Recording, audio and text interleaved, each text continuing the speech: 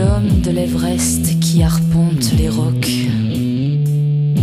Il puise mon émotion au-delà des glaciers. Je baisse le regard, mais le désir monte.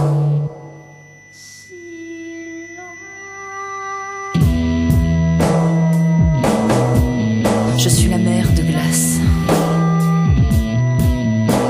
Tu creuses dans ma roche insatiable désir, insatiable plaisir.